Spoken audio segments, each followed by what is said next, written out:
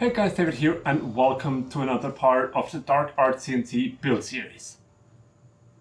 Now we're really making progress here, things are moving along and it's looking more and more like a fully finished machine.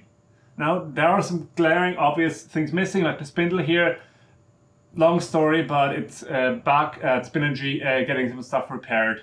Uh, but that's not the topic of today. Today's topic is all the other little things that you saw uh, that kind of were skipped in the last video where all of a sudden I had covers here and all of that stuff. So today we're going to talk about these nice covers here that make sure there's no, dust everywhere and things look nice and cohesive. We're also going to talk about these custom made bellows and how it is actually really cheap and how you can go about doing that and a bunch of other little things all around. And for this video, I want to give a big thank you to PCBWay for sponsoring this video and sending over these covers here everywhere. All of these big, nice uh, sheet metal parts that have a black powder coating on them, they were all made by PCBWay and you might know them primarily for making PCBs, as the name hints, but they have a lot of manufacturing services like 3D printing in all kinds of different materials, CNC machining, as well as sheet metal fabrication.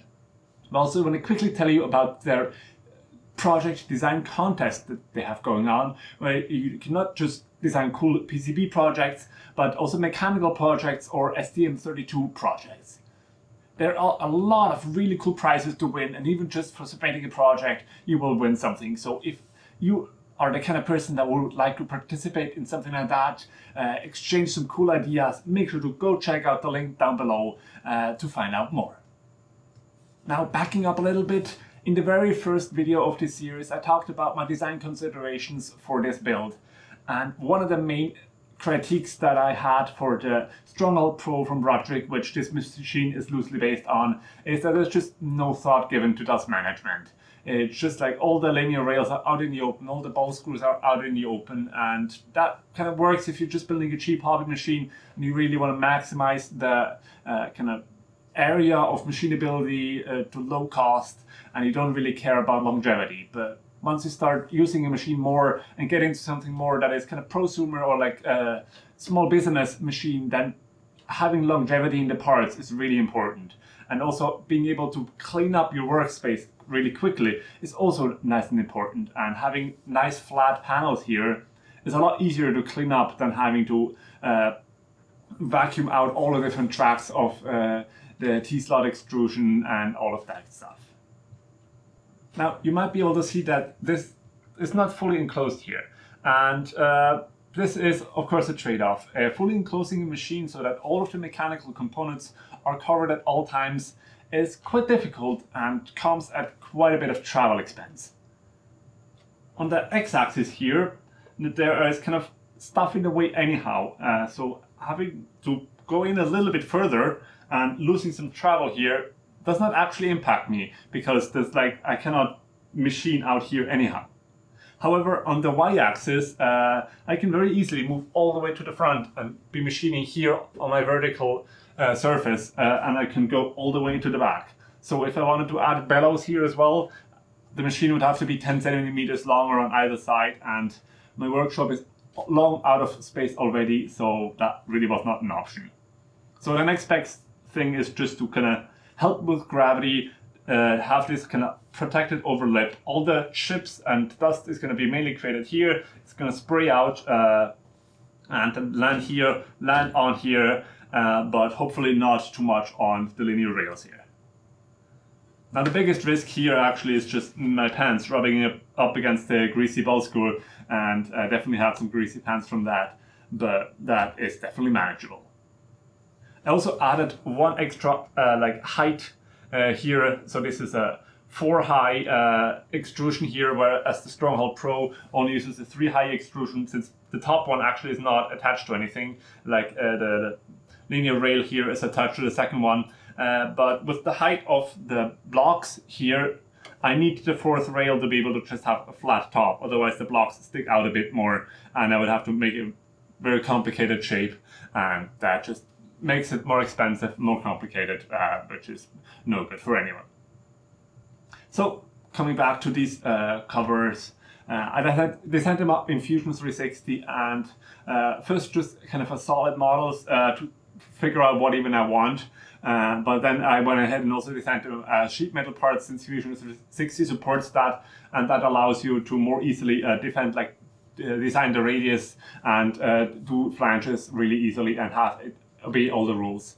But the really cool thing about PCBWay is that you don't actually have to kind of submit a DXF file and then uh, tell them bend here, bend here, bend here. You can just submit a 3D file, and if it's designed for sheet metal manufacturing, uh, then they, you can automatically uh, create their flat panel. They know exactly where to bend, to what angle, and how sharp of a bend you would like. So that makes it so much easier for you. You don't have to fuss about with that and just submit it. So I was really happy to see that as a, with a lot of other uh, sheet metal uh, suppliers, uh, you will just submit flat drawings and then hope that they interpret your uh, bending lines correctly. So the material I chose here is 2 millimeter thick aluminum and uh, actually I'm really happy with that material choice. I was at first a bit worried that it's too thin, but it's perfectly strong enough. And I could have gone with steel, but aluminum is cheaper and it's lighter, and these things are huge, uh, so I figured aluminum is probably a better idea. And then I went ahead and had them powder coated in black, which definitely is worth the money. It's not that expensive, and the powder coating is really high quality. It's very durable. I've not really especially paid attention here while building on it, and just basically no scratches. There's a couple of fingerprints on it, uh, but that's it. And uh, I was also really happy just generally how easily everything fit together. I designed everything in the computer, put tolerances where I thought I needed them, uh, but when I kind of took them, just put them on here and they fit perfectly, I was very happy and very relieved because these parts, uh, since they are so huge, were not that cheap and main driver of that uh, fairly high cost is the shipping. Now, I'm sure if I had them made locally and powder coated, they would be way more expensive, but uh, shipping definitely is a consideration for having parts this big. They also came in a huge wooden crate that I had to uh, somehow uncrate without a proper crowbar. That was a fun experience, uh, but that also meant that they all came in one piece with no things, no scratches, and uh, no bends out of place. I also made a similar cover here for the back, and you already saw in a previous part I installed uh, this little uh, trough up here that uh, captures the drag chain, and that should make sure that everything is uh, held in place here nicely. I could have really used one for the y-axis as well. I thought my table was wide enough, but it was not quite. But uh, I managed in other ways.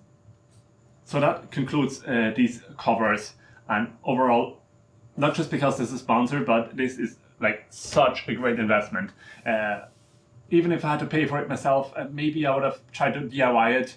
Uh, but having these high quality uh, covers here and just kind of pulls the entire machine together and makes it look like it's a professional machine instead of just something kind of cobbled together. And uh, that definitely also counts for something in my book.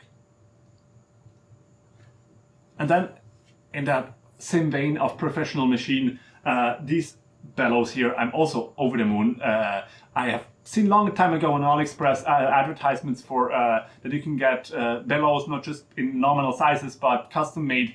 I uh, kind of put that to the back of my mind, expecting it to be quite expensive. As well, you never know if the price that is quoted for something custom is the price they're actually going to charge you for your customization, or if that's just kind of a starting at price.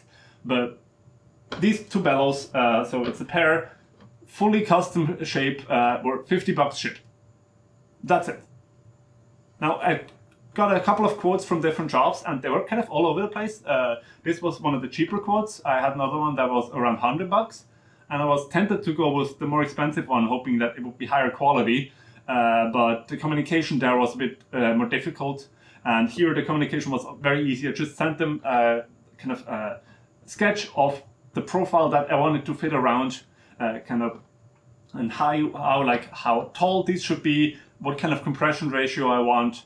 So these are uh, 20 millimeter uh, tall uh, accordion bellows, and that uh, allows me to have a compression ratio of 10 to 1, meaning that uh, fully extended, this is roughly 70 centimeters, and then compresses down to 7. This is really good. That means that I basically don't lose any travel here on the x-axis. Then the like end plates here uh, are uh, like a thicker material, and then in between each one of them uh, has like a very thin uh, cutout shape, and that uh, goes around the linear rail and make sure that like I cannot pull forward on this anywhere. It's nicely captured in here. Now I did let them know that my drawings, um, the dimensions on there were just like the actual object, and that they should please add nice tolerances around so that it doesn't bind up and they understood the assignments perfectly. Clearly that they're doing this not for the first time because they fit on easily. Well, fit on not that easily because I had already assembled it. It would have been easier to just slide them on from the side, but with a bit of brute force, they went on easily, and now they just slide perfectly. They have very minimal play. It's a bit of back and forth play, but nothing uh, that is bothersome in any way. Uh, they are very smooth as well. Now I did not include any sort of attachment points. Uh, I didn't really know how I wanted to attach it and this material is very soft so it's easy enough to just drill those myself. So I uh, drilled uh, three holes here and then uh, tapped some matching holes into the end plates. So I'm just using a couple M4 uh, bolts and made sure that they have a nice flat head uh, that way uh, they don't take up too much space.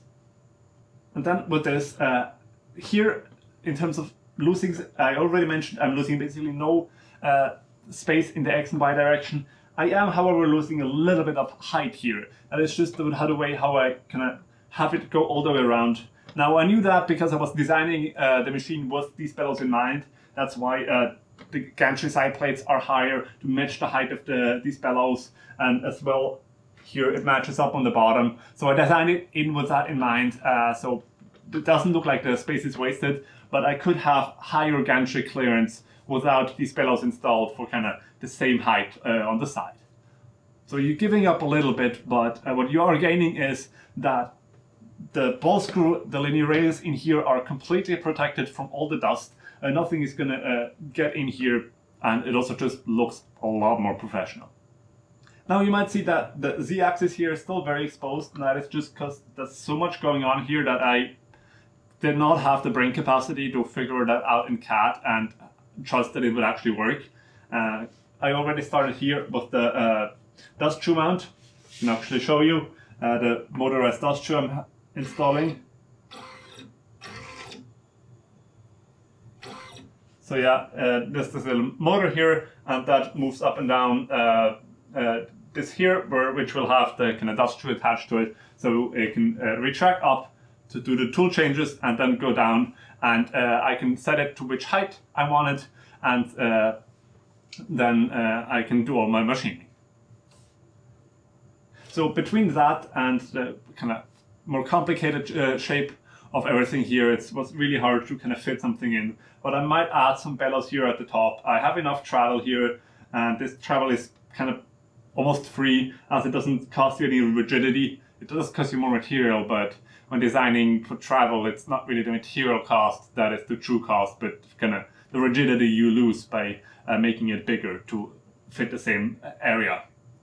Um, so I might add some uh, bellows in here and add some plates to the sides, but I'm not going to be able to fully enclose the z-axis. Uh, you would just need a lot more complicated design to be able to pull that off. And I think with that, it's uh, time to call this video uh, here uh, in the next video, hopefully, I will uh, have the spindle back and we will uh, install the spindle, talk about the uh, spindle, show you how it automatically uh, changes the tools here and maybe even do some machining. And then there's going to be one on the master controller as well. And after that, I will have kind of a big uh, final video where I show some machining, I talk about all the different aspects. And there I can also answer some of your questions. So if you have any questions about either this particular part or just in general the machine, leave them down below. I already got some questions about uh, cost and I will definitely uh, include a cast breakdown in that final video as well. And so with that, thank you guys for watching. Big thank you to PCBWay for sponsoring this video and supplying with these uh, beautiful parts here. Like, comment, subscribe, all that good stuff and see you next time.